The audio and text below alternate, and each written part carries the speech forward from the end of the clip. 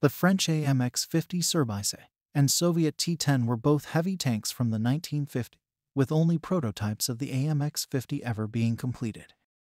The AMX-50 Surbaissé weighed nearly 60 tons, being fitted with an extremely powerful 120mm cannon mounted in a colossal oscillating turret. An oscillating turret has the gun fixed to the turret, where the turret itself is inclined or declined to adjust the gun's elevation.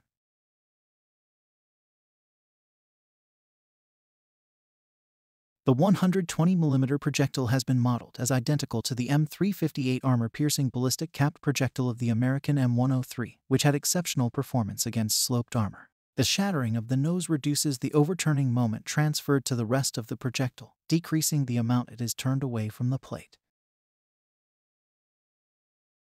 All versions of the T-10 series featured a pike nose with 120 mm of armor, resulting in incoming shells striking the upper glacis at 64 degrees when engaged directly from the front.